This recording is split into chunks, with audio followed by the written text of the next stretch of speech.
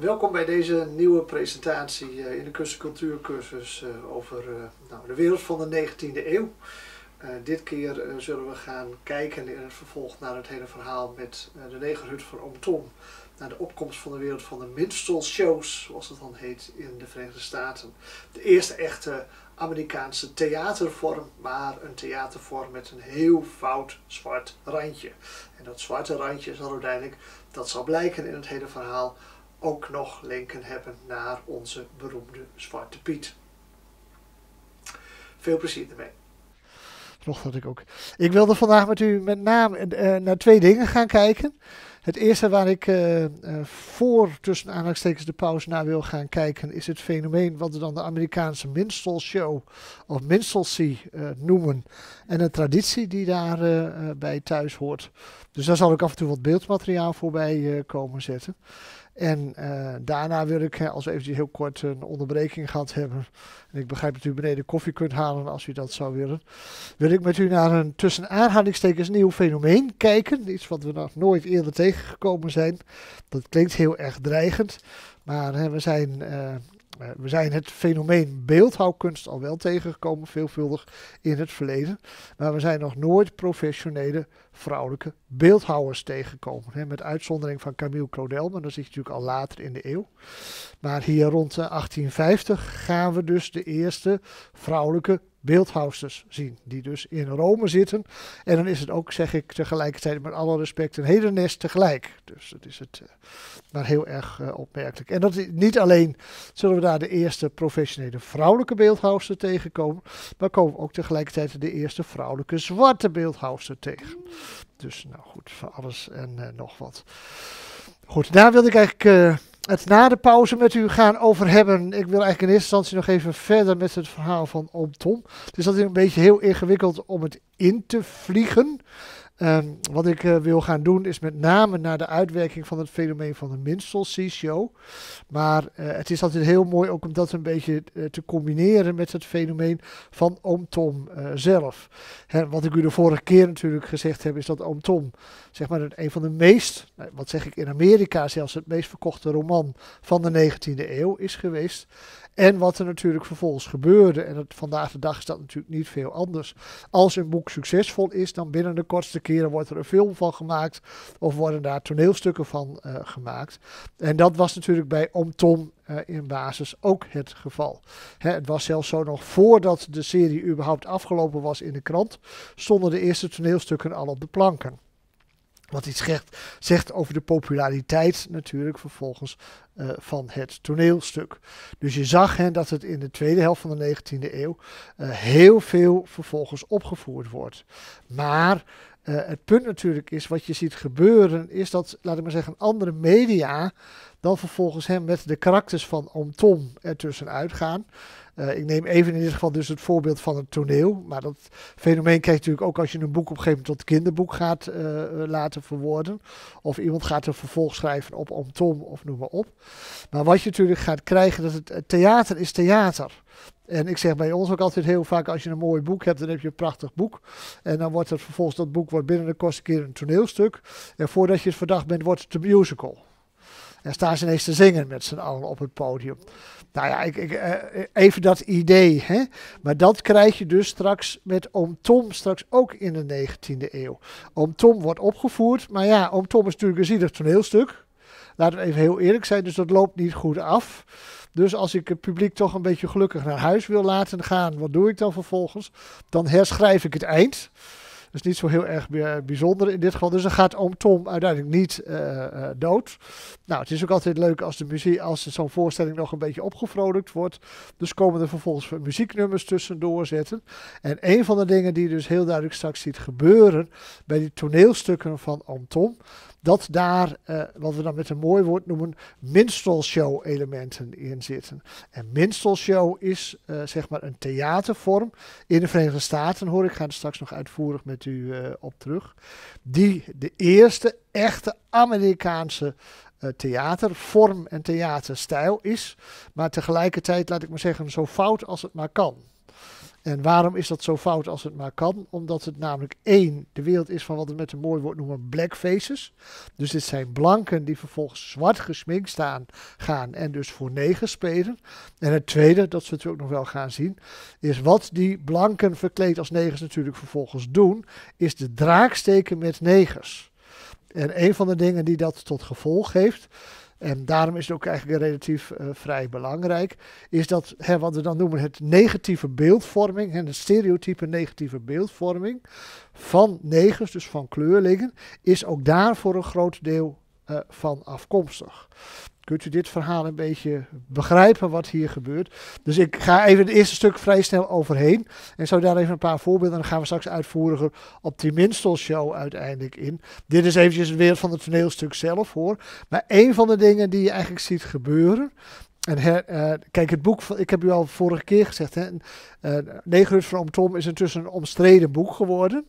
Uh, omdat daar allerlei karakters in voorbij komen zitten die hedendaagse kleurlingen, ja, laat ik maar zeggen, denigrerend vinden of niet kloppend vinden. Toen heb ik u ook tegen u gezegd, eigenlijk wat hier aan de hand is, is dat Harriet Beecher Stowe soms misschien wel zo'n karakter introduceert, maar daar vast helemaal geen verkeerde bedoelingen mee heeft. Maar wat je dus dan ziet gebeuren, is dat anderen, en dat met name ook in de wereld van het toneel, er met die karakters tussenuit gaan en daar dus, laat ik maar zeggen, stereotypen van gaan maken. En die zien we straks ook heel duidelijk in de wereld van de minstrelshow weer terugkeren. En dan zie je dus ook het, de kritiek op de karakters uh, terugkeren. Vorige keer had ik u dat al een beetje gezegd. Hè. Oom Tom, hè, als je tegenwoordig vandaag de dag voor, voor oom Tom uitgemaakt wordt als zijn, dan is niet een uh, compliment. Maar oom Tom betekent in principe dat je een meeloper bent met de blanken. Hè, dus dat je, laat ik maar zeggen, hè, dat je je oren laat hangen en, uh, naar de blanken. En dat je eigenlijk alles doet om hen te pleasen. En dat wordt je vandaag de dag, zeg maar, kwalijk genomen. Maar in die wereld zie je heel veel van dit soort beeldvorming terugkeren. Ik pik er nog eventjes eentje uit hoor. Topsy, dat is dat negenkind, dat negenmeisje. We zullen daar straks nog weer terugkeren. Heel vaak wordt ze ook hen, zoals u hier ziet, met wat wilde haren en met strikjes in de haren, et cetera, weergegeven. Zij wordt straks ook een soort van een eigen karakter. Maar zij wordt op een gegeven moment ook aangeduid met de term Piccanini. En pik, als u, Piccanini is tegenwoordig een scheldwoord voor kleine, kleine negenkindertjes. Dus hen, zo werkt dat uiteindelijk, uiteindelijk door. Een ander beeld wat je, komt niet zozeer als oom Tom hoor, maar dat is een later uitwerking. U zult, het zal alles allemaal op zijn plek gaan vallen uh, straks. Hè, maar je krijgt van dit soort plaatjes ook hè, van, wat zijn nou eigenlijk die negers in het zuiden? Nou, dat zijn over het algemeen luien aan de kant van de weg zittende, watermeloen zittende, etende of misschien uh, uh, verkopende negers. En uh, dit plaatje krijg je straks natuurlijk veelvuldig weer terug. Of laat ik even een ander. Dit, dit is, kijk, dit is gegeven wat er gaat gebeuren. Hè? Dan heb je, heb je Little Eva's Temptation. Dit is eigenlijk Topsy. En wat je dan op een gegeven moment kunt doen, is een apart kinderboek schrijven over Topsy. En dan gaat het ineens alleen maar over Topsy. En heeft natuurlijk niks meer met Oom Tom te maken. Maar dan zet je wel ineens, oké, dit is dus een negenkind. Zo draagt, gedraagt een negenkind zich. Wat natuurlijk helemaal niet waar is. En vaak is dat ook echt bevestiging van uh, vooroordelen. Nou, oom Tom hebben we eigenlijk al wel gehad. Vind ik ook zo grappig hier, hè. Uncle Tom's Cabin. Kijk eens wat een oude man dat het intussen geworden is. Dus dat is het. Uh, ja, dit is de 150ste. Ja, dat klopt ook. Hè, bij de 150ste uh, eh, herdenking van uh, Oom Tom. Dan is het dus ook wel een hele oude man geworden. Dat moet ik heel eerlijk toegeven. Nee, maar om u nog zo'n voorbeeld van zo'n ja, ogenschijnlijk onschuldige stereotype te geven, is de mama. Die kom je ook bijvoorbeeld tegen in Gone with the Wind. Wat zijn dat? Ja, dat, zijn van, dat is dan in een huishouden, zorgend voor de kinderen. Meestal een iets uh, aan overgewicht leidende, zeg ik dan maar, uh, negerin hè, zijnde. Heel aardig, waarbij je bijna zelfs het vermoeden heeft dat ze meer aandacht heeft voor de kinderen van het witte gezin dan eigenlijk kinderen van haar eigen familie. En dit zijn typisch van die stereotypes die je op ziet duiken en ook constant weer terugkeren. Ook natuurlijk vandaag de dag in de wereld van het uh, Hollywood-idee. dit is het Please Mommy. Dit is, dit is een, een, een, kaartje wat je zo rond 1920 gewoon in Amerika kon, kon versturen. Dus dat beeld. En dit kom je straks heel erg tegen. Hè? Het, Sam is ook zo'n eigenlijk hele kleine karakter die later heel erg uitgebouwd wordt als stereotype beeld van wat zijn eigenlijk negers. Negers zijn dom, negers zijn lui, negers leven eigenlijk alleen maar bij de dag. Dus maken zich niet zorgen over morgen. En lege, dat staat hier er nog niet bij. Bij Sam valt dat nog wel mee. En negers van Tom ook. Maar negers, kijk uit. Hè, dat zijn, uh, laat ik maar zeggen, uh, uh, door seks gedreven roofdieren. Zo ongeveer. Vrouwen houdt u, houdt u, nee mannen houdt u vrouw binnen. Want voor je het weet, hè, komt er een verschrikkelijke neger uh, voorbij uh, zetten.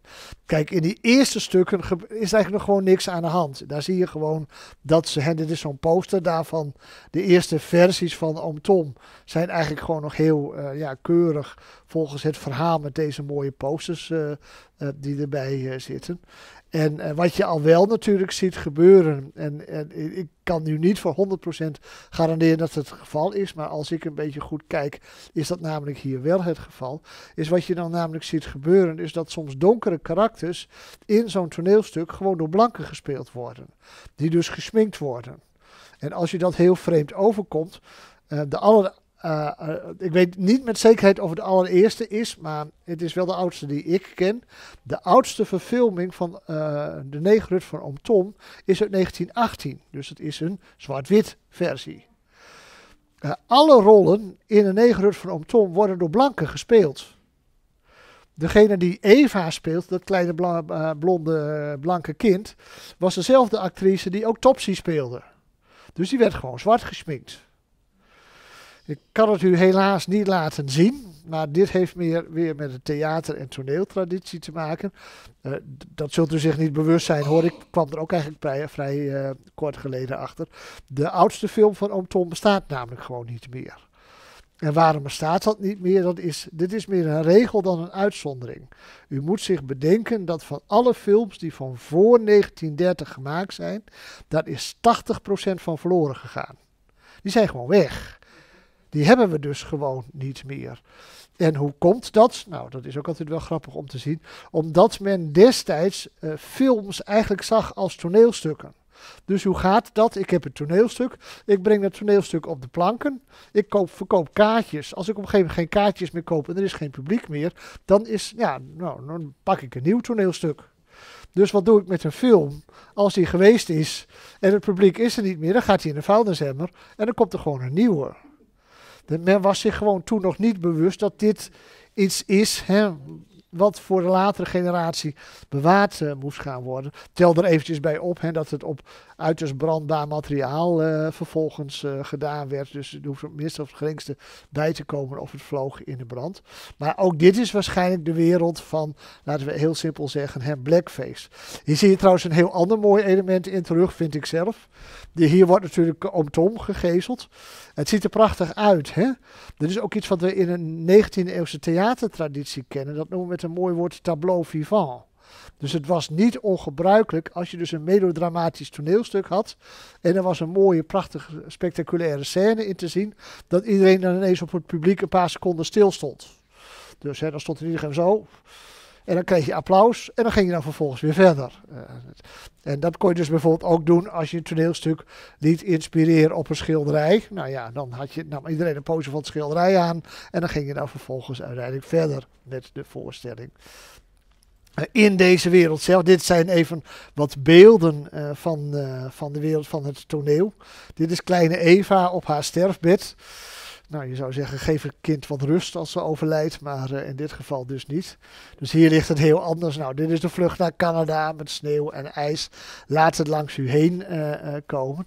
Hè, maar wat je ziet gebeuren, is dat na verloop van tijd op een gegeven moment je niet meer alleen maar het toneelstuk van oom Tom hebt, maar dat je dus oom Tom shows gaat krijgen. Of wat je hier hebt, hè, Palmer's Uncle Tom's Cabin and Company. Waar gaat het dan nog over? Gaat het dan nog over oom Tom? Nee, het gaat hem dus over oom Tom als kapstok om vervolgens dus een soort van een show uh, weer te gaan uh, geven. En daar zie je dus hè, dat langzaam en zeker die oudere traditie die we in de Verenigde Staten kennen, die we dus de Minstrelsy Show uh, noemen, dat die deels uh, op de loop gaat met de toneelstukken van uh, Oom Tom. Want dan kun je je voorstellen, als je dan een scène hebt die op het plantage afspeelt, dan kun je dat allemaal heel gruwelijk, maar je kunt ook lekker een, muzikale scène maken, vervolgens op de plantage, als uh, illustratie, dat het allemaal toch niet zo erg uitgezien heeft. Goed, waar komt het vandaan? Nou, het punt is wat, je, wat daarin sluipt is dit. Dit noemen wij de wereld van de minstrel show of de blackface minstrelsy zoals het met een mooi woord heet. En het is het eerste echte Amerikaanse, zuiver Amerikaanse theatervorm. Het droevige dus aan een theatervorm is, is dat het eigenlijk een hele racistische vorm van theater is. Omdat hier namelijk blanken rollen van zwarte mensen uiteindelijk gaan spelen. Het komt vooral opzetten en het is vooral populair tussen 1830 en 1850.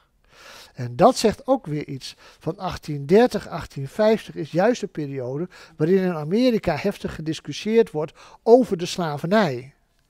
Dus waar, en laat ik maar zeggen, ook vanuit het zuiden en vanuit de blanken.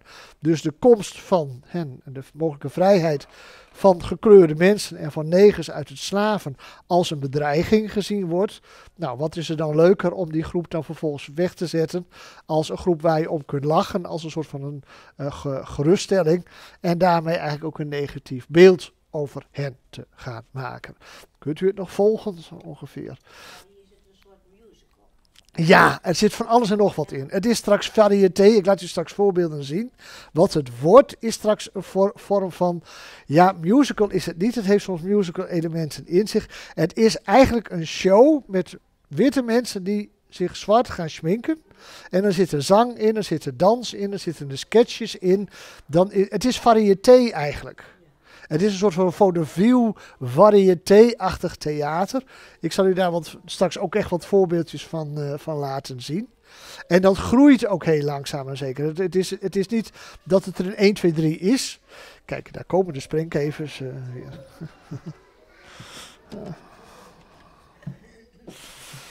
ja.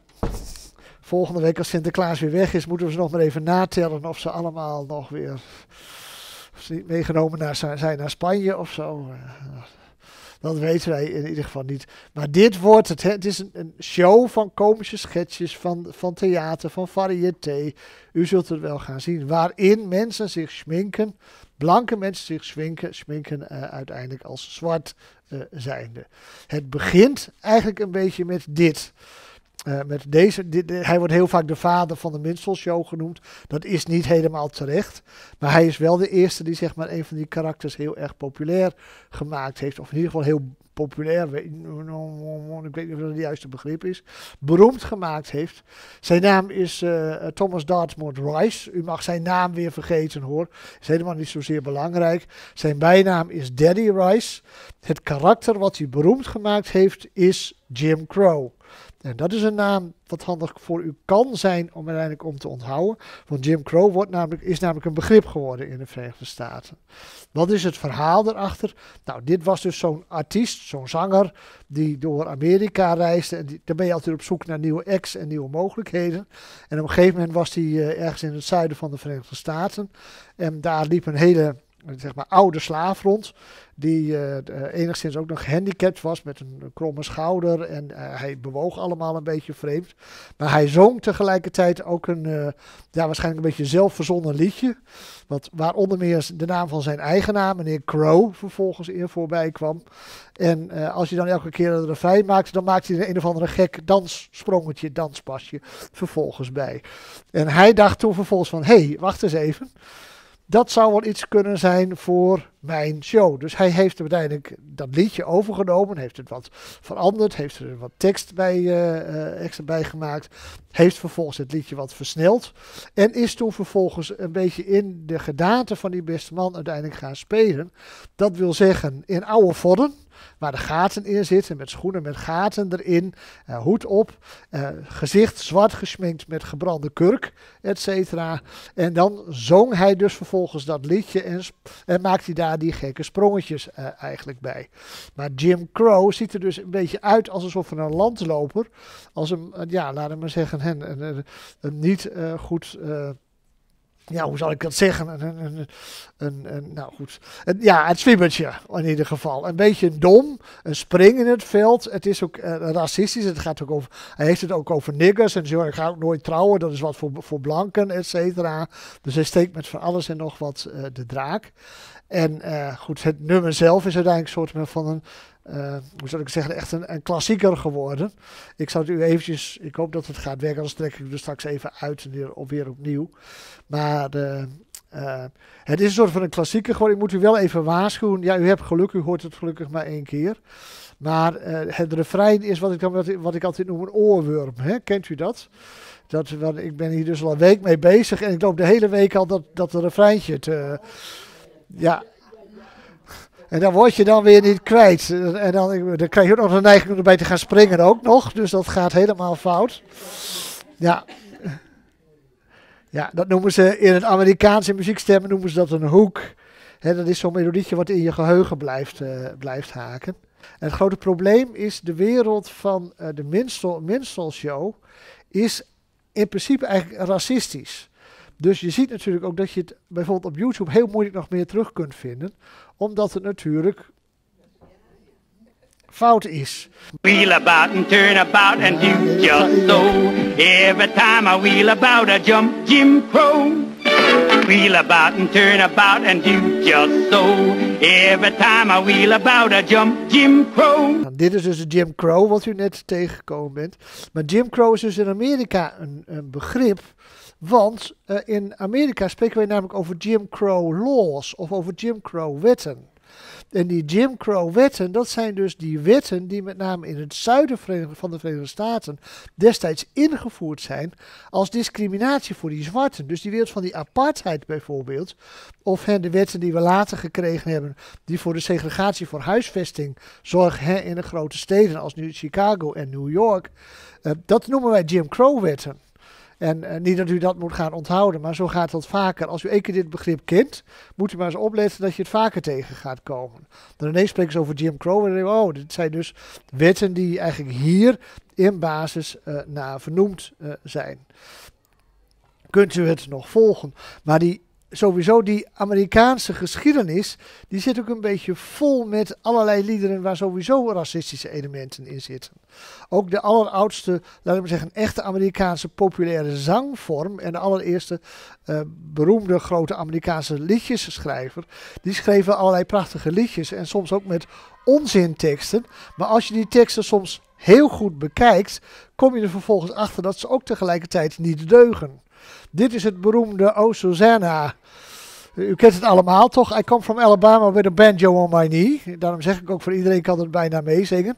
Behalve dus, uh, behalve dus bij wijze van spreken de, de coupletten die ertussenin zitten. Uh, de tekst van, de, van de coupletten slaat af en toe nergens op. Maar kijk maar eens hier wat in deze zin voorbij komt. Electric, electric fluid magnified and killed 500 nigger. Nou, dit is natuurlijk niet echt respectvol omgaan met uh, je medelandgenoten. Dat is een beetje veel uh, in, uh, in dit geval. En als je het weer hebt over de wereld van de liederen. En als je het dus hebt over van waar komt nou eigenlijk die minstrelshow vandaan. Dan heeft het een hele merkwaardige ontwikkeling. Want uh, wat eigenlijk het, het geval gebeurt in dit geval. Is dat zwarte muzikanten ineens negro songs gaan. En de negerliederen gaan zingen en spelen. Die gaan zich vervolgens zwart maken. En dan maken ze dat natuurlijk eigenlijk vrij. Uh, daar hebben ze dan succesvol mee. Ik zal u straks daar een voorbeeld van gaan geven. Het gevolg daarvan is dat vervolgens dus negers dat ook gaan doen. En die doen het natuurlijk beter dan dat die blanken het doen, want het is hun muziek. Met als gevolg dus dat je als, uh, laten we zeggen, blanke als blackfaces, als gesminkte er niet meer helemaal mee wegkomt. Dus je moet meer doen dan alleen maar een liedje brengen, wat de negers uiteindelijk opvoeren. Dus wat je dan ziet gebeuren is dat het langzaam maar zeker uitgroeit tot een hele show. Met sketches erbij en dansen erbij, et cetera. En dan ga je natuurlijk ook met name, uh, laten we zeggen, gekleurde figuren uh, belachelijk maken. En dan krijg je dus dat grote show-element, waarbij dus gezongen wordt door blanke mensen, uh, met zwart gesminkte figuren, et cetera. Nou, ik laat u nu straks hier eventjes een voorbeeldje van zien. Want dit is O Susanna. O Susanna is natuurlijk een liedje wat iedereen kent. Geloof mij hoor, zoals u het geleerd hebt, is niet meer de oorspronkelijke tekst. Dit is wel wat gekuist, zullen ze in het Belgisch uh, zeggen, uh, vandaag de dag. Maar de oorspronkelijke tekst, één, kun je er geen touw aan vastknopen. Maar als je sommige zinnen leest, dan denk je van, dit, dit deugt niet. ik laat u even een voorbeeldje zien van wat we dus een minstrelshow op zijn nou, mooist en kleurrijkst kan zijn. Ja, je ziet straks dat vooral, uh, ik laat er straks ook een andere uh, fragmenten van zien. Wat je dus ook vooral ziet gebeuren, is dat uh, kleurlingen, kijk, je krijgt, je krijgt een soort van overdreven typetjes van negers. Dus ook met name negers die bijvoorbeeld niet goed het Engels kunnen spreken of niet goed kunnen verstaan, woorden verkeerd uit gaan spreken, het op een verkeerde manier uiteindelijk gaan doen. Maar dat hangt soms ook een beetje af van wat voor type dat je hebt. Moet ik wel iets anders aan toevoegen. Ik weet niet of ik dat vorige week bij jullie gezegd heb. Maar dat heeft weer met die hele plantagecultuur te maken. Is dat uh, uh, je komt in het Amerikaans, en met name natuurlijk ook in het Amerikaans, als je naar kleurlingen gaat kijken, soms hele gekke grammaticale zinnen en begrippen uiteindelijk tegen. En dat wordt wel heel vaak teruggeleid naar de tijd van de slavernij. Want hoe werkt dat eigenlijk? Kijk, die, die slaven komen op een plantage en die komen daar te werken voor hun baas. Maar die worden er niet aangehouden dat ze perfect Engels leren. Want dat was natuurlijk helemaal niet belangrijk. Als ze de bevelen maar op wisten te volgen, dat was het allerbelangrijkste. En of ze nou een een of andere koekenwaals Engels spraken of zo, dat maakt eigenlijk allemaal niet uit. En dat schijnt dus ook met name, wat ze dan in het Engels de slang beïnvloed te hebben. He, zeg maar de, ja, nou, de, dialectvorm, die negers, maar dat is natuurlijk ook doorgecijpeld vervolgens naar de blanke uh, taal uh, toe. Ik laat u even. Uh, ik moet het weer ingewikkeld gaan doen, dan snapt u. Ik moet dit uit en dan. Ik voel me net zo'n discjockey. Het begin van de wereld van de Minstrelsy Show begint met dit clubje. Vier mannen die uh, op 31 januari 1843 uh, voor het eerst gezamenlijk optreden en zich de Virginia Minstrels of de Virginia Serenaders uh, gaan noemen. aanvankelijk waren zij vier afzonderlijke muzikanten. Eerst staken twee de koppen bij elkaar, vervolgens staken daar nog twee anderen, sloten zich daarbij aan en toen ontstond de Virginia Minstrels. En dit wordt heel vaak gezien in 1843 als het echte begin van de Minstrelsy Show. Dit zijn de beste mannen. Uh, in principe was het ook zo hè, dat deze serenaders, zoals ze genoemd werden, in eerste instantie uit vier personen bestonden. Frank Brower op banjo, Billy Whitlock op banjo, uh, Richard Pellman, die meerdere instrumenten bespeelde en de grootste danser van de hele groep was. En leider van de hele club was Dan Emmett. En Dan Emmett is hier te zien als een echte blackface. Maar Ben en Dan Emmett was niet alleen leider van de hele groep. Uh, hij was ook songwriter, dus hij schreef, liedjes voor ze. Speelde onder meer op banjo, dus het is echt een wereld van volksmuziek wat hij uitvoerde. En uh, ja, zijn reputatie is er zo groot geworden en zijn oeuvre uh, heeft ook zoveel sporen nagelaten dat hij uiteindelijk opgenomen is in de Songwriters Hall of Fame. En de Amerikanen hebben altijd de neiging om allerlei halls of fames voor mensen op te uh, richten.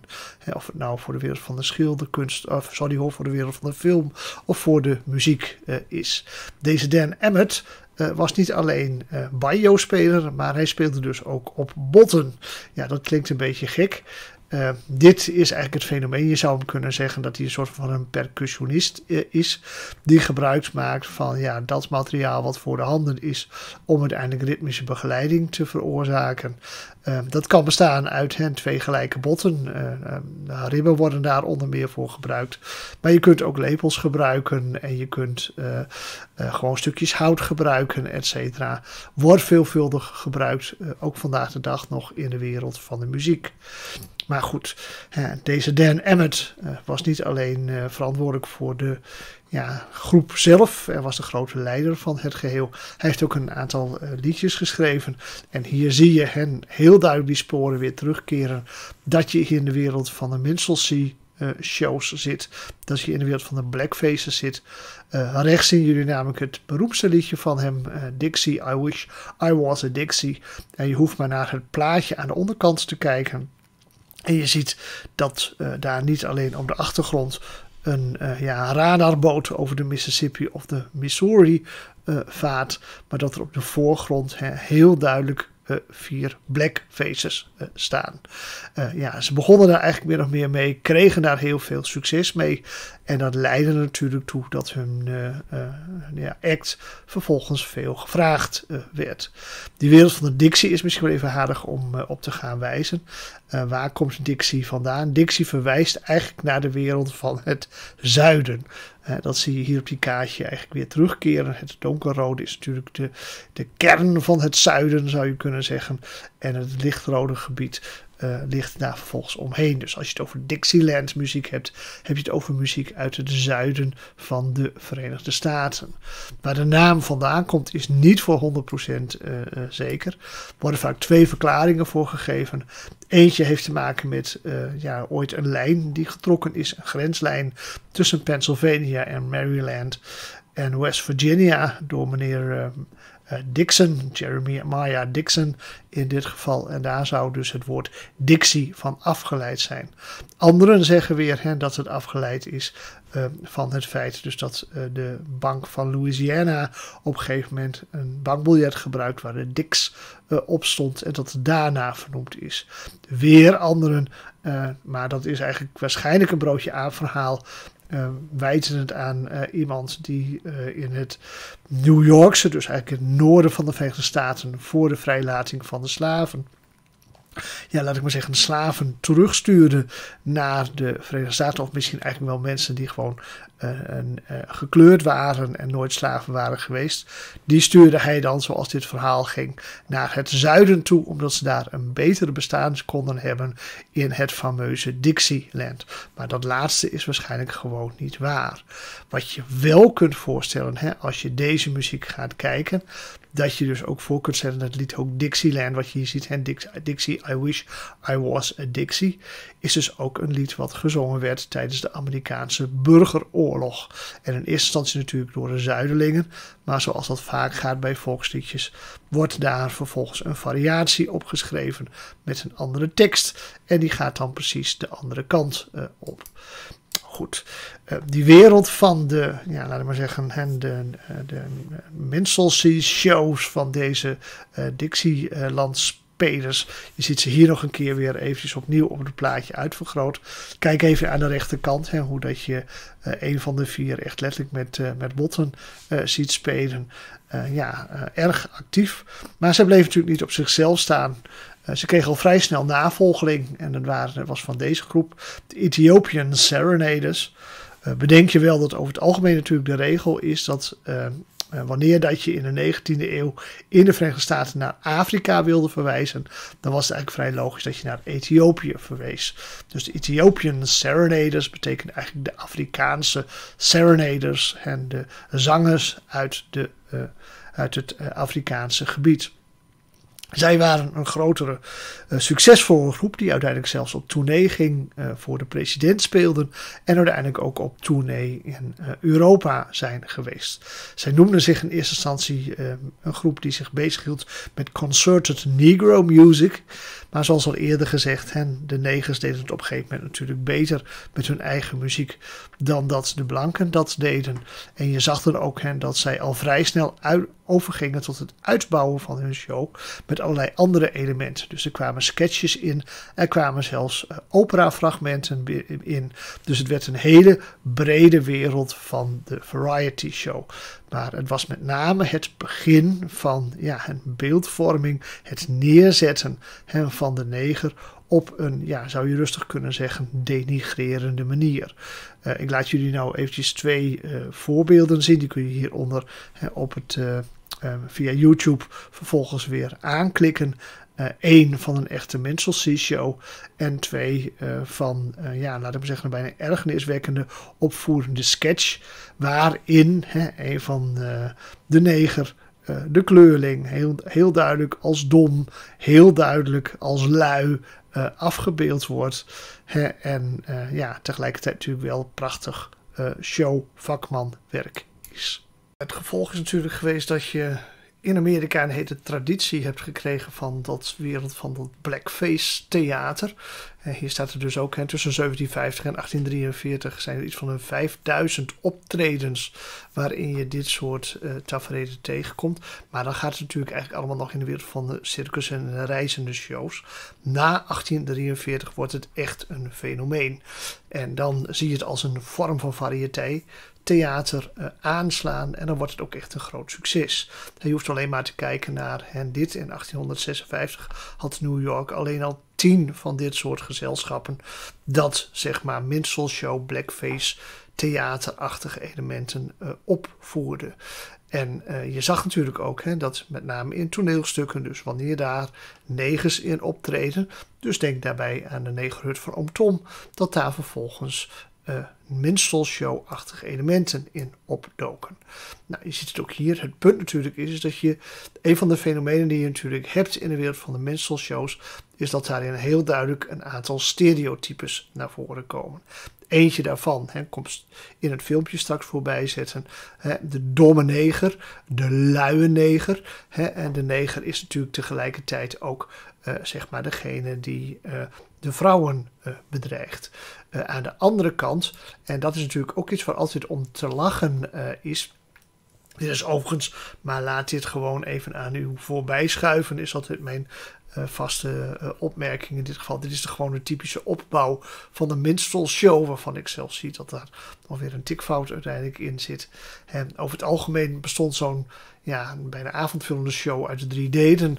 Uh, een groep danst op het podium, wisselt grappen uit, zingt liedjes, etc. Dan krijg je een variété onderdeel met veel komische uh, monologen erin. En dan krijg je als laatste deel vaak een soort van de slapstick-achtige musical. Die zich natuurlijk tussen aanhalingstekens vooral op het, of in het zuiden afspeelt. Hè, op een plantage of op een radarboot. In ieder geval op de karakteristieke plekken. En wat je daar natuurlijk uh, in ziet opduiken, zijn die heel erg stereotype, uh, zou je kunnen zeggen, karakters. He, de slavendandies, de mammies, de old dark, de mulatto's en de zwarte soldaten. Uh, de slavendandies is misschien nog wel even geen om extra op te moeten gaan, uh, gaan wijzen. En we kennen dat natuurlijk altijd. Hè? Het is natuurlijk altijd heel erg grappig om voor de ene uh, culturele groep uh, te lachen om de andere culturele groep. Kijk, niets is natuurlijk zo moeilijk als je uit een andere culturele context komt om aansluiting te vinden bij de bestaande culturele context. En dat leidt natuurlijk ook toe van als je dan probeert die manieren over te nemen, leidt dat vaak toe en dat je dat niet goed doet dat je jezelf belachelijk maakt, dat je het uh, misschien gaat overdrijven. En dit is een eeuwenoud principe wat we natuurlijk echt al heel lang kennen. Uh, neem eventjes mee een paar stappen terug naar de grote toneelschrijver uh, Molière. En Molière heeft dat hele beroemde toneelstuk geschreven, een bourgeois gentilhomme. Waar gaat dat over? De bourgeois gentilhomme gaat over een burgerman die zich probeert te gedragen als een aristocraat, als een edelman. Nou, de waarheid natuurlijk is dat hij die opvoering niet heeft. Dus hij krijgt danslessen, hij krijgt schermlessen. Uh, hij krijgt spraaklessen. Uh, maar tegelijkertijd hè, maakt hij zich uh, in het ogen van anderen uh, belachelijk in de ogen van zijn dochter, in de ogen van zijn vrouw. Uh, degene die hem uh, opleiden, tussen aanhalingstekens, die trekken hem in principe een poot uit. En ja, zijn eigenlijk een stelletje smerige uitbuiters, zou je rustig kunnen zeggen. Maar waar het vooral om gaat, is dat het natuurlijk een zedencomedie is, die met name gekeken werd bekeken werd door mensen uit het Hof, bijvoorbeeld van Lodewijk XIV en de aristocratie, die daar uh, natuurlijk veelvuldig in aanwezig was. En wat is er dan niks grappigers als hen een lage laag van de, van de bevolking uh, pogingen te zien doen jouw uh, manier van kleden, jouw manier van gedragingen, jouw culturele uitingen over te nemen en dan bevestigd te zien dat ze dat eigenlijk niet kunnen. Nou, en een van de voorbeelden die we dus uh, in de Blackface Theater, in de Minstrelsy Show, hè, in de wereld van het, uh, ja, laten we zeggen, zwarte uitbeelding tegenkomen, is de Dandy Jim, of ook wel de Zip Coon, zoals hij genoemd wordt. Dat is dus ja, laten we maar zeggen, de neger die zich probeert te gedragen als een vlot geklede, uh, vlot gebekte dandy, et cetera. Dat is hij natuurlijk ook, maar het is allemaal net even over de top, waardoor hij zichzelf tegelijkertijd belachelijk uh, maakt. Uh, als ik uh, dit soort afbeeldingen zie, dan op een of andere manier heb ik ook altijd het idee van, dan wordt het op een gegeven moment bijna een self-fulfilling prophecy. als ik bijvoorbeeld, ik ben natuurlijk zelf niet in die wereld thuis, maar als je, uh, ik bijvoorbeeld in, in, in films en tv's, uh, bijvoorbeeld de wereld van de de, de, de, de, zwarte pooiers hè, in New York tegenkom, dan zie ik ook vaak dat die eventjes net te posh, te heftig uiteindelijk uh, gekleed zijn. En daarmee maken ze zichzelf natuurlijk vooral weer in het ogen van de blanken belachelijk. En ja, eh, als toneelkarakter, wat is er leuker als je dan uh, te verkleden als een, uh, ja, laten we zeggen, een overdreven dandy, je gezicht zwart te maken en vervolgens die groep daarmee belachelijk te maken. En dit soort uh, idee hè, dat je mensen belachelijk gaat maken. Zip Koen is daar een heel mooi voorbeeld van. En dat gaat zelfs zo ver dat Zip Koen een zo'n groot karakter geworden is. Dat we zelfs in de Amerikaanse traditie hè, van rond de eeuwwisseling op een gegeven moment sprake is van wat we dan met een mooi woord noemen Koen songs. Je hebt in Amerika zelfs een hele genre tussen 1890 eh, en 1920 eh, Waar, waar dus eigenlijk gewoon sprake is, dat noemen ze dus coon songs. En dat, dat gaat dus over dit soort nou, blanke mannen en vrouwen in chique pakjes, et cetera. Nou goed, u ziet het hier alweer uh, terugkeren. Hè, in een uh, mooie kleding, zoals dat uh, er dan vervolgens uitziet met dit soort posters. Uh, dit leidt tot dit soort, uh, allemaal van dit soort watertypes. Dit is ook zo'n typische wa de, watertype, stereotypes. En dit is ook zo'n mooi voorbeeld dat negers uh, watermeloenen eten. Dus dit is ook zo'n plaatje wat je dan, wat een soort kaartjes kun je dan gaan krijgen. En grappig natuurlijk om te versturen. En dan worden dan liedjes over geschreven. Maar het is vooral, laat ik maar zeggen, ja, een beetje denigrerend richting de donkere bevolkingsgroep toe. Maar was natuurlijk op een gegeven moment wel heel populair. Uh, aan het eind van de 19e eeuw zie je dat het in populariteit terug gaat lopen in de Verenigde Staten. Zie je wel dat de gezelschappen veel groter gaan, uh, gaan worden. Maar die gezelschappen over het algemeen uh, die bestaan niet zo heel erg lang. En dat heeft gewoon mee te maken, niet zozeer dat ze niet, uh, laat ik zeggen, populair zijn. Maar heeft er vooral mee te maken omdat de kosten zo ontzettend zo hoog zijn. Ik zeg ook altijd van als ik André Rieu met zijn hele shebang op het podium zie staan. Dan denk ik ook van ja, je bent wel heel populair. Maar je moet ook wel heel veel kaartjes verkopen. Wil je dat geld vervolgens weer terugkrijgen. Dus je ziet soms dit soort grootse minstrelshows opduiken. En een paar jaar later zijn ze dan vervolgens weer weg. Niet omdat uh, er geen vraag naar is. Maar ja, goed, het publiek uh, moet je natuurlijk wel in groot. Vaak zie je dan dat ze op een gegeven moment op de fles uh, gaan. Nou, waar leidt dat toe? Uiteindelijk zie je aan het begin van de 20e eeuw, dus in de eerste kwart van de 20e eeuw, dat het in de Verenigde Staten vooral uit de mode raakt. Uh, in uh, Engeland overigens is dat minder het geval, dat zullen we ook nog wel gaan zien. Uh, als je gaat afvragen van waarom dat het met name aan het begin van de 20e eeuw uit de mode raakt, dat is niet meer zozeer het feit hoor dat men zich, laat ik maar zeggen, racistisch bewust is dat dit niet kan. Maar dit heeft alles te maken met de concurrentie van de film die op komt zetten. Dus dit is de wereld van de stomme film. En dus als je nu uitgaat, ga je dus dan niet meer naar uh, zo'n show toe waar je een hoop geld voor moet betalen. Maar ga je vervolgens dus naar de stomme film toe. Alleen wat je dus nu ziet gebeuren, is dat die blackface traditie, die traditie waarbij dus blanke zangers, zangeressen zich zwart schminken en dan vervolgens hun nummers uitvoeren, dat blijft eigenlijk gewoon in stand. En dat zie je dus ook gewoon keurig netjes straks weer in allerlei Hollywoodfilms opduiken. Uh, sterker nog, als je in de jaren 30, 40, 50 gaat kijken, dan uh, kun je zo een hele trits van uh, acteurs en actrices opnoemen als je gaat zoeken hen die zeg maar een blackface karakter hebben gespeeld of gezongen. Dus ik laat u er eventjes nu weer eentje zien. Nou, nou, anders denkt u van dat ik u wat op de mouw zit te spelen.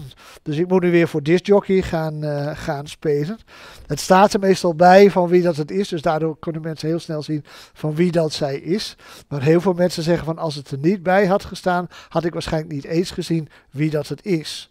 Degene die, eigenlijk hier op het uh, podium komt, de karakter wat uitgebeeld wordt, is eigenlijk Topsy uit de Negerhut van Oom.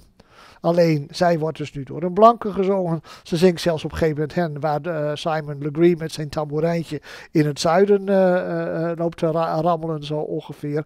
Alsof dat zuiden en die slavernij allemaal één groot vrolijk feest is geweest. De werkelijkheid is natuurlijk een hele andere de, uh, zeg maar de, de tijd zich tegen deze vorm van amusement gaat keren. En dan komt daar natuurlijk kritiek op. En dan kan het eigenlijk niet meer. Maar het gaat echt heel lang door hoor. Uh, om even, dit is een pla plaat van een jazzzanger. En dit is dus van meneer West, et cetera. Maar dit is wel een heel prachtig voorbeeld. De BBC kende namelijk ook de Black and White Minstrel Show. Dat was een programma wat dus de BBC uitzond tussen 1958 en 1978. En wat dus in basis deze vorm van uh, theater, deze vorm van show uiteindelijk geweest. Tot 1978 aan toe. Sommige mensen kunnen zich nog herinneren dat, dat elementen hiervan in Nederland op de televisie geweest zijn. Met dit soort minstrel show-achtige elementen. Let even op wat daar dus gebeurt. Het, eh, in 78 wordt er dus van een toneel of van een televisie gehaald. En vandaag de dag kun je dit natuurlijk gewoon niet meer, niet meer, althans niet meer in die vorm uiteindelijk op het uh, toneel gaan, uh, gaan brengen. Maar hen, daar komt natuurlijk in de jaren 60, 50, 60, ook op basis van die emancipatiebeweging natuurlijk van kleurlingen, net zoals dat we in Amerika hebben, komt er natuurlijk heel veel protest op. En wat je dan vervolgens ziet, dat, daarom heb ik even hier gezet, dat in 1967 uh, geeft de BBC dus als antwoord op die kritiek van dat het beledigend zou zijn en dat het racistisch zou zijn, geven zij dus vervolgens uh, als antwoord, ja weet je, het zwart maken van gezichten en het voorstelling daarvan, dat is een theatertraditie die is zo ontzettend oud dat het echt geen denigrerende of racistische of foute bedoelingen uiteindelijk meer heeft. En ik weet niet of u dat hebt, maar als je dit dus hoort, dat klinkt heel erg als wat wij vandaag de dag dus in onze Zwarte Piet discussie uh, laten spelen. Ja, en dan is natuurlijk de grote vraag van zit er een link tussen de Zwarte minstrelshows en onze traditie van de Zwarte Piet? Of kun je die twee niet met elkaar vergelijken? Ja, nou dat is dus, uh, je kunt er heel erg over, over discussiëren. Maar daar zit wel heel duidelijke linken uh, tussen. Uh, ik zal u dit weekend ook horen uh, een mailtje toesturen met een artikel erin, wat volgens mij vorig jaar of twee jaar geleden geschreven is, over de mogelijkwijze link tussen de wereld van de blackface, minstreltheaters en onze Zwarte Piet traditie. En de wereld van het racisme die daarachter zit. Dus ik neem u eventjes mee naar dit man in zijn kikkerpakkie in uh, dit geval. Nee, maar wat, wat de auteur van dat artikel ook al bijvoorbeeld onder meer betoogt, is dat Zwarte Piet eigenlijk ook voor een knecht in een veel te mooi pakje rondloopt. Als je begrijpt wat ik bedoel. Dus dit is een beetje net zoals de dandy. Dus dat je overdressed bent in de situatie waar je in zit. Dus dit is eigenlijk al een beetje fout. Maar goed, hebben wij überhaupt iets met minstrels in de 19... En hoe zit het dan met onze Zwarte Piet? Haar argumentatie, hoor, moet ik eerlijk toegeven, vind ik zeker in het begin over hen, het ontstaan van Zwarte Piet en een link met de minstrelshow, vind ik niet 100% waterdicht. Maar uh, zij ziet daar wel heel duidelijke laat ik maar zeggen, linken uh, tussen. En uh, die racistische kant die komt straks heel duidelijk wel naar voren. Kijk, hier heb je het. In juli 1847 komt dus dat clubje van die Ethiopian Serenaders komt dus naar Nederland toe en geeft hier uitvoeringen. En dit zijn geen chique uitvoeringen in de stad Schouwburg, maar dit zijn onder meer hè, een koffiehuis in Rotterdam, uh, in een variété in, op de Nes, in, uh, in Amsterdam, Amsterdam et cetera, waar een heel breed publiek naartoe gaat. En dat wordt, uh, ja, laten we zeggen, warm ontvangen, het wordt geprezen aan alle kanten. En ze worden zo populair dat als ze dan later weer terugkomen, ze hun naam maar even veranderen. Van dat Ethiopisch, dat snappen wij niet. Dus uiteindelijk worden ze dan maar de landom negenzangers van Amerika. Want dan weet in ieder geval iedereen waar het over gaat. Maar dit zijn dus die blanken, die dus voor zwarten uh, spelen. En als u het niet wilt geloven, de advertenties stonden in de NRC. En anders moet u nog maar even in uw krantenbak zoeken van 1847, 48. Daar staan dus dit soort uh, advertenties en stukjes in over dat dit uh, optreden plaatsvindt. Daar komt nog iets bij hem. Wat ze dan opvoeren, zijn ook typisch weer van die coon songs, zou je kunnen zeggen. En die liedjes waarin negers een beetje weggezet worden als, nou ja, dommerikken, eh, over, overdreste figuren. Kijk, de elegante neger op het bal, nou dan weet je het al wel, dus hier probeert een uh, neger zich elegant te gedragen. Maar de werkelijkheid is natuurlijk heel uh, anders.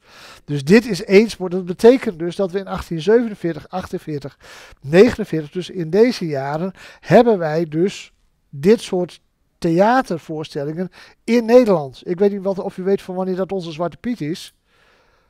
1850. Dus dit zit heel dicht op elkaar.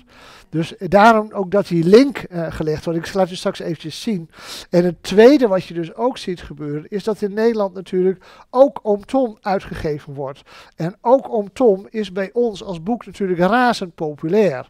Er komen goedkope edities van, er komen kinderedities van. Het boek, mag je rustig zeggen, hè, vliegt in de tweede helft van de 19e eeuw uh, over de toonbank. Oh, ik moet even één terug. Dit is hem hier, 1853. U ziet het, ik ging even te snel. In dit geval 1853 tot 1900 werden 12 Nederlandse goedkope edities uitgegeven. Kinderedities werden uitgegeven. Een nieuwe vertaling verscheen uiteindelijk op de markt. En in 1892 en wordt de, nou laten we zeggen, het aantal exemplaren wat verkocht wordt van Negerhut van Oom Tom geschat op ongeveer 100.000 exemplaren. Wat voor Nederland natuurlijk heel veel is. Laten we even heel eerlijk zijn. Maar wat je ook ziet gebeuren, en hier zie je datzelfde element als in Amerika weer terug, dat het bij ons natuurlijk niet alleen als boek populair wordt, maar dat het dus ook op het toneel verschijnt.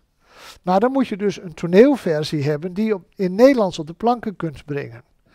Ja, wat ik het hele gekke vind, is dat ik het meest logische zou vinden als je gewoon een Amerikaanse of een Engelse versie gaat nemen, die in het Nederlands vertaalt en die vervolgens op de planken brengt. De werkelijkheid in Nederland is, is dat we een Franse versie vertalen in het Nederlands en die op de planken brengen. Maar dit is dus een versie die, heel simpel gezegd, aangepast is.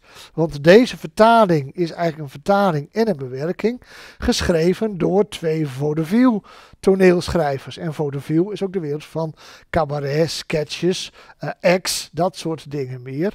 Dus dan weet je dat ze gewoon dingen gaan veranderen in het stuk van de negerhut van Oom Tom. Dus wat doen ze? Nou, daar gaan we alweer. Eén, oom Tom gaat niet dood aan het eind, want dat is veel te uh, zielig wat dat betreft. En het tweede wat ze doen, is dat ze twee nieuwe karakters toevoegen als een soort van een komische noot. Die dus helemaal in Oom Tom niet uh, voor, voorbij komen zitten.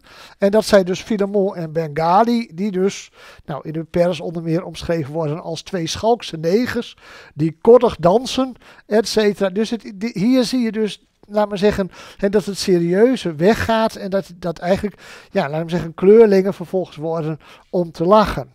En dit levert dus een vorm van blackface humor op, zoals het met een mooi woord genoemd wordt, waarin, je dus de contrast tussen, wat, laat ik maar zeggen, het idee hè, van het zogenaamde superieure beschaving van de witten, ten opzichte van de inferieure uh, wereld van de zwarten eigenlijk uh, af gaat zetten.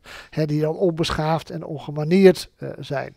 En het idee wat heb je tegelijkertijd ook, hè, dat, dat anti-emancipatoire humor, wat ze, waar dan eigenlijk sprake van is in het, in het weergeven hè, van die zwarten ten opzichte van de witten. Uh, daar wordt er op een gegeven moment ook in betoogd dat je dat ook deels in Zwarte Piet uh, tegenkomt. Daar moet u mee doen wat u wilt, maar ik neem u toch even mee op, op de sleeptafel. Waar komt onze Zwarte Piet vandaan? Onze Zwarte Piet komt hier vandaan, van Jan Schenkman. Dus Zwarte Piet is gewoon een verzinsel van de 19e eeuw. Jan Schenkman, heeft, uh, Jan was onderwijzer, was dichter, auteur van kinderboeken, humorist. Maar Jan Schenkman was, nou, laat me zeggen, uh, erg uh, betrokken bij het Amsterdamse leven in alle opzichten. Dat weten we. Dus uh, de auteur van het, van het werk zegt ook van het is onmogelijk dat iemand als een Jan Scheekman bijvoorbeeld dat hele idee van de Ethiopian, Ethiopian Serenaders en de Blackface Theater in Amsterdam dat hij dat gewoon niet meegekregen heeft. Wil niet zeggen hoor dat hier straks een één op één link zou gaan zitten. Maar Jan Schenkman heeft uiteindelijk uh, dit boekje geschreven in 1850, althans in 1850 komt het op de markt. En dat heet Sint Nicolaas en zijn knecht. En dit is voor het eerste keer dus dat wij, laat ik maar zeggen, wat wij laten zien als Zwarte Piet opduikt in het verhaal van Sinterklaas. Waarom nu in 1850? Wat speelt hier uiteindelijk? Nou, het grote punt is dat Sinterklaas is eigenlijk al een hele oude traditie bij ons. He, u hoeft bij wijze van spreken maar naar het Rijksmuseum te gaan. Ik begrijp dat het schilderij volgens mij nu in Hoorn hangt, hoorde ik van iemand, maakt het niet zoveel uit. Maar Jan Steen heeft al een beroemd schilderij gemaakt van Sinterklaasavond. Dus ja, met die poppen en dat jongetje dat dan huilt hè, over het feit dat hij een roe gekregen heeft. En, dus dat geeft eigenlijk aan dus dat het al een oud-Hollandse traditie is, die in principe uit de 15e, 16e, 17e. Het heeft natuurlijk klappen gehad toen de Reformatie kwam. Dus dan wordt het een beetje van de heftigste katholieke dingen uiteindelijk ontdaan.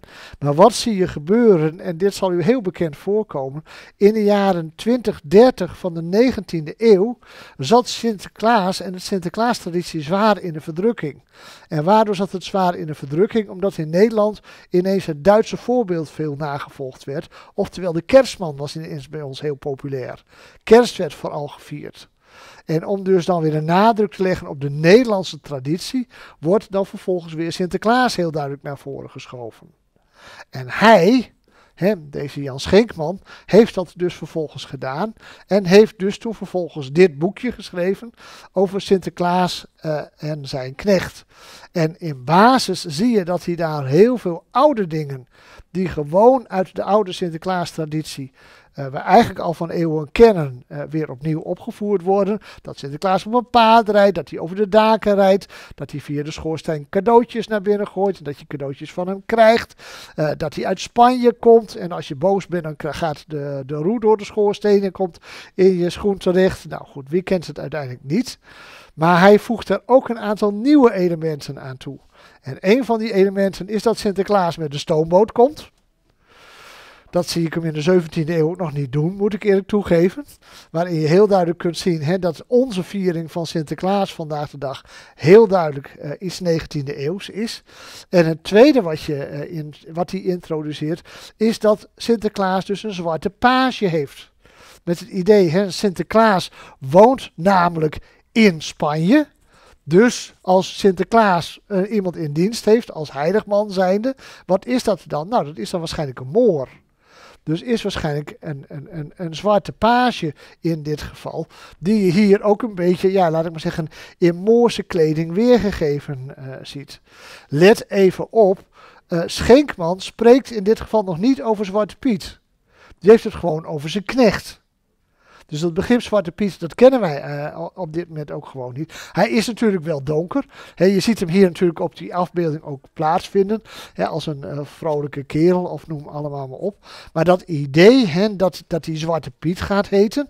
En dat hij ook heel duidelijk veel meer, laat ik maar zeggen, negroïde en, en racistische trekken, zo noem ik dat even, gaat krijgen. Kun je heel namelijk ook mooi weer terugvinden. Want Schenkman heeft natuurlijk niet alleen die Sinterklaasmythe nieuw leven ingeblazen, zoals wij die vandaag de dag kennen. Maar wat hij ook gedaan heeft, is dus de tekst van een beroemd Sinterklaasliedje schrijven. En dat is namelijk Sigins komt de stoomboot. En let u maar eens even op, als u de tekst van Sint, uh, Sint uh, komt de stoomboot gaat zingen, of in uw, in uw gedachten laat, voorbij laat gaan, dan zal u merken dat er wel sprake is van een knecht maar niet van Zwarte Piet. Zijn knecht staat te lachen, hij, dus niet over Zwarte Piet in dit geval. En, dat, en dat idee, hè, dus dat Sinterklaas dus een donker gekleurd iemand als page, dus als hulp hebt, dat wordt dus in de loop van de 19e eeuw uitgebouwd tot wat wij dus de naam gaan geven van Zwarte Piet. En, en, en, daar gaat het dus ook fout. Want uh, of Schenkman daar überhaupt die, die, die blackfaces uh, bij in gedachten gehad heeft. Natuurlijk, als je het gaat, gaat spelen, kun je natuurlijk wel zo'n paasje uiteindelijk zwart schminken, et cetera. Maar je ziet dus dat die, dat die foute racistische kaart in de loop van de 19e eeuw uiteindelijk wel uh, een rol gaat spelen. En ik zou daar even een mooi voorbeeld van, van geven. Dat is dit van de Pietenknecht. Of dan verschijnt er bijvoorbeeld hier het grote negerboek. En, en, dan zie je dat tussen die negers hier uh, Zwarte Piet zit. En dan heb je dus een hoofdstuk hoe Zwarte Piet den Sint verraste. En hoe verraste Zwarte Piet den Sint? Door zwart, doordat Zwarte Piet namelijk Sint meenam naar het eiland waar Zwarte Piet vandaan kwam. En wat krijg je dan hier? Nou, dat clichébeeld wat iedereen straks kent hè, van, uh, ja, laat ik maar zeggen, uh, negertjes en, en gekleurde mensen. En dat past natuurlijk helemaal in dit beeld. Wat we eigenlijk, uh, ja, zeg maar, van de wereld van de kleurlingen kennen.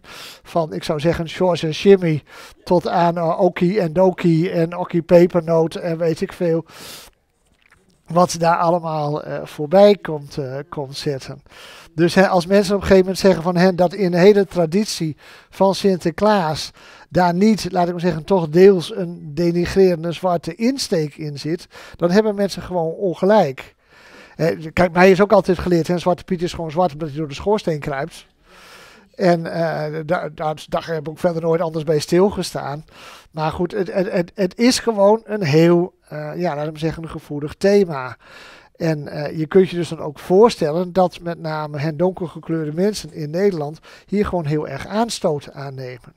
En sommige mensen zeggen ook, net zoals ik net al gezegd heb, dat postje pakje van Zwarte Piet wordt bijna vergeleken met dat postje pakje van die dandy, die je dus ook in de wereld van de blackface uh, uh, wereld tegenkomt. Waarbij opgemerkt moet worden, hè, van, wat is de oplossing voor de Zwarte Piet discussie? Nou, heel simpel gezegd, die is er niet. Die komt er vanzelf wel. Nee, maar heel grappig. Nou, ik weet niet of het grappig is, maar ik vond het wel heel, heel uh, leuk. Van afgelopen zondag uh, keek ik even naar de Duitse tv. Dan, ga ik altijd naar Boetangen toe. En dan kom ik daar s'avonds laat aan. Dus dan ga ik even, even nog zitten. En dan zet ik even de tv aan. En daar was een prachtig. Uh, dus heel vaak is er soms een, een, een, een interview tussen uh, een filosoof. En die heeft dan heel vaak een, een wetenschapper aan, uh, aan de tafel zitten. Er zijn vaak heel boeiende gesprekken die ze dan hebben. En dit was in dit gewoon een sociaal psycholoog. En die zei zoiets van: hen, als we problemen hebben, denken wij eigenlijk veel te veel in de termen van wiskunde. Er is een probleem. Dus we willen een antwoord op het probleem. Hij zei van, maar dat kan niet, want dat heb je alleen maar in de wereld van de wiskunde en de natuurkunde. In de wiskunde heb je het vraagstuk 1 en 1 is 2. Of in de wereld van de natuurkunde kun je, ja, deze week riep in de kwantummechanica gaat het dan weer niet werken. Maar dan krijg je op een gegeven moment een natuurkundig antwoord. Als mensen daarbij betrokken zijn, is dat namelijk nooit het geval dan is er niet het antwoord. Want als je het antwoord weet proberen te formuleren, komt vervolgens het andere probleem weer tevoorschijn. Want dit zijn mensen, er zijn die dingen zwart-wit. En dat geldt natuurlijk eigenlijk voor die Zwarte Piet discussie ook. Van hier komt dominee Harry dus weer voorbij zetten. Dat voelt me allemaal aankomen. Nee, maar het is gewoon natuurlijk heel gecompliceerd. Want het is deels natuurlijk een traditie waar heel veel Nederlanders uh, geen kwaad in zien. Maar hè, als je een kleurlinge bent, hè, dan ligt dat natuurlijk soms weer heel anders. Ik had, maandag had ik ook iemand in, de, in een groep zitten. En die haar uh, schoondochter was dus van, was Surinaamse. En ze zei van nou, die schoondochter van mij, die, die vond Sinterklaas, Sinterklaas en Zwarte Piet echt een ramp. Omdat ze vroeger altijd ge, ge, gepest werd met het feit dat ze voor Zwarte Piet werd uitgemaakt.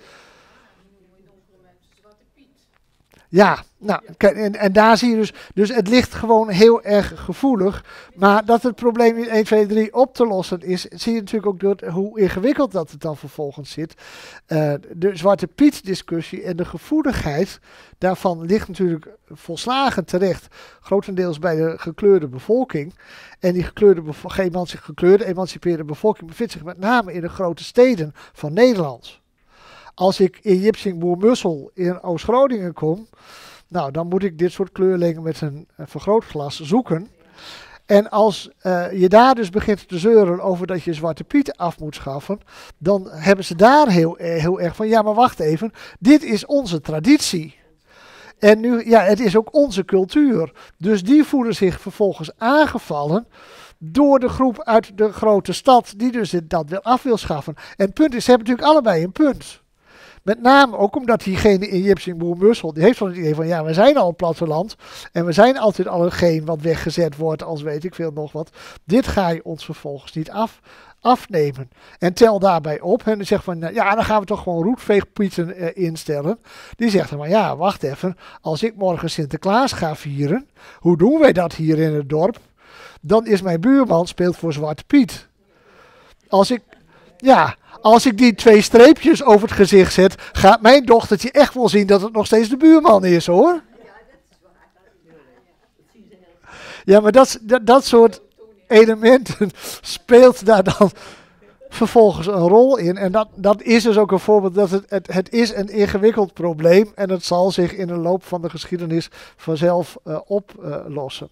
Uh, wat, wat je natuurlijk wel heel duidelijk ziet, tegenwoordig en ook volslagen terecht. En dat er een verschuiving is dat je toch langzaam maar zeker van die Zwarte Piet af moet. Al was het alleen maar gewoon vanwege het feit dat heel veel mensen zich daardoor gekwetst voelen. En als dat het geval is, is dat natuurlijk een reden om in ieder geval dat te gaan herzien. En daarbij moet je dus ook heel simpel bedenken dat hen Zwarte Piet is verzonnen in 1850. Dus het is gewoon op een gegeven moment geïntroduceerd in het uh, Sinterklaas verhaal. En dan kun je hem ook veranderen of er desnoods nog weer uithalen. Ja, nou dat is, nee, dat, dat, kijk, dat is natuurlijk een van de elementen die je daar hebt. Je ziet dat hier natuurlijk wat minder terug. Volgens mij heb ik ook niet echt een mooie plaatje daarvan uh, wat je gaat nemen. Maar het punt natuurlijk is, is dat die uh, Zwarte Piet ook steeds meer, laat ik maar zeggen, Moorse karakters gaat krijgen. Dan met zo'n ring in de oren, met dikke lippen. Dus hen, dan wordt het ook echt een, laat ik maar zeggen, een racistische uh, insteek. Het is, het is gevoelig in dit geval. Nou, laatste opmerking, alleen maar een opmerking in dit geval. Uh, hebben wij nou in de wereld van het theater ook helemaal dan geen zwarte grote acteurs? Ja, die hebben wij wel. Uh, ik noem hem alleen even als voorbeeld hoor. Maar deze Ira Frederick Aldrich, geboren in 1807, 1867, is een van de grootst gevierde acteurs van de eerste helft van de 19e eeuw geweest. Heeft met name in New York grote successen op de planken gehad. Is daarna naar Europa gegaan. Heeft in Londen gespeeld. Heeft in uh, Berlijn gespeeld. In Sint-Petersburg. Uh, noem allemaal maar op. Uh, kreeg daar absoluut de handen voor op elkaar. Een rol waar hij natuurlijk mee tot gezet is Othello. Ja, daar kon je natuurlijk uh, uh, fantastisch in laten, uh, laten spelen. Maar ik begrijp ook dat hij bijvoorbeeld ook Hamlet, et cetera, gespeeld heeft. Dus we hebben ze absoluut, ook in die categorie hebben we ze wel. Kopje koffie, kopje thee, kopje of niks.